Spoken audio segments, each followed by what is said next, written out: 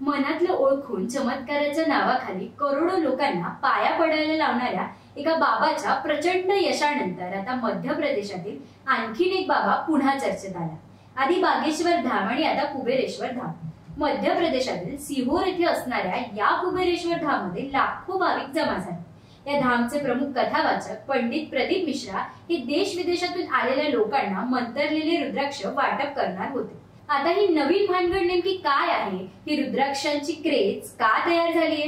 कसले रुद्राक्ष मिळवण्यासाठी लोक एकमेकांना चिरडून पुढे जात आहेत हेच आपण आजच्या व्हिडिओमध्ये बघणार आहोत.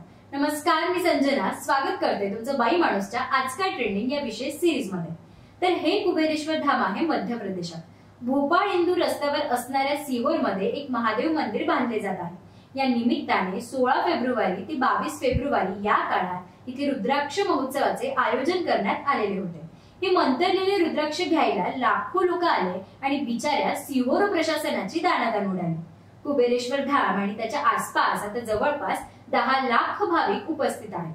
मागच्या दोन दिवसात सुमारे पाच लाख रुद्राक्षांचे वाटप करण्यात आले मात्र गर्दीने बॅरिकेडिंग तोडल्याने सध्या तरी या रुद्राक्षाचे वाटप थांबवण्यात आल्याची माहिती आहे. महोत्सवाच्या सुरुवातीला झालेल्या चेंगराचेंगरीत अनेक लोक बेपत्ता झालेत आणि मालेगावहून गेलेल्या एका महिलेचा तर मृत्यू झाल्याचीही माहिती आहे. आता या सगळ्या गोंधळाला कारणीभूत असलेले पंडित प्रदीप मिश्रा नेमके कोण आहेत ते पाहूया. प्रदीप मिश्रा यांचा जन्म एकोणाशे ऐंशी मध्ये मध्य प्रदेशातील सिहोर येथे झाला. सुरुवातीला त्यांनी कथा वाचनाचे काम सुरू केले आणि विशेषतः स्त्रियांच्या उपवास आणि पूजेमध्ये ते कथा सांगत असत. आता केवळ एका कथा सांगणाऱ्याला एवढी लोकप्रियता कशी मिळाली? हा प्रश्न तुम्हालाही पडला असेलच. तर त्याचं उत्तर असं आहे की हे बाबा नुसते कथा सांगत नाही तर तुमचं लग्न होत नसेल नोकरी लागत नसेल मुलं होत नसतील तुम्ही परीक्षेत नापास होत असाल ते हे सगळे प्रश्न सोडवण्यासाठी हे बाबा काही युक्त्याही सांगतात. आणि याच युक्त्यांनी या बाबाला देशभर आणि जगभर प्रसिद्धी मिळवून दिलेली आहे. प्रदीप मिश्रा महिलांमध्ये प्रचंड लोकप्रिय झाले आहेत कारण त्यांच्या कथेत महिलांच्या संदर्भातील किस्से भरपूर असतात. प्रदीप मिश्रांच्या अनेक विधानांमुळे ते बऱ्याच वेळा वादातही सापडले. विशेषतः त्यांचा रुद्राक्ष महोत्सव तर सुपर डुप्पर हिट ठरलाय. आणि त्यालाच झालेल्या गर्दीमुळे लोकांचा जीव जातो हेही तितकंच खरंय. आताच्या रुद्राक्षांवरून हे सगळं महाभारत घडतंय ते रुद्राक्ष नेमके काय आहे ते पाहूया. तर सगळ्यात आधी हे लक्षात ठेवा की रुद्राक्ष हे झाडाला लागणारे एक साधं फळ आहे.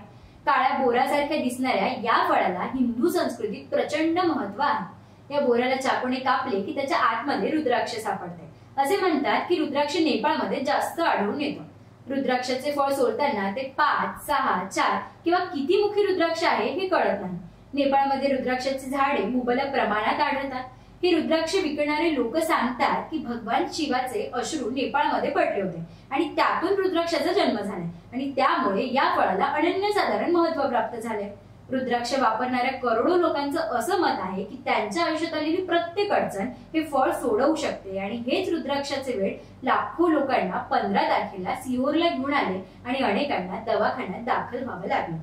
आता तुमचे या रुद्राक्ष पुराणावर काय मत आहे हे कमेंट करून आम्हाला नक्की कळवा. आणि हा व्हिडिओ आवडला असेल तर जास्तीत जास्त शेअर करा. धन्यवाद.